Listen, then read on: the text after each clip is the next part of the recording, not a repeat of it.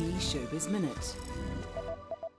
Elon Musk lost his fight to delay Twitter's lawsuit against him as on Tuesday, a Delaware judge set an October trial, citing the cloud of uncertainty over the social media company after the billionaire backed out of a deal to buy it. Twitter wants the billionaire to make good on his April promise to buy the social media giant for $44 billion. A New York man working at a film location for the TV series Law and Order Organised Crime has been shot and killed.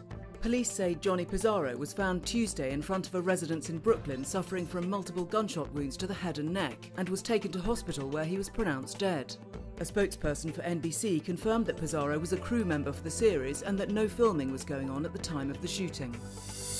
As another heatwave hit Italy on Tuesday, animals at a zoo in Rome ate frozen fruit to help them cool off.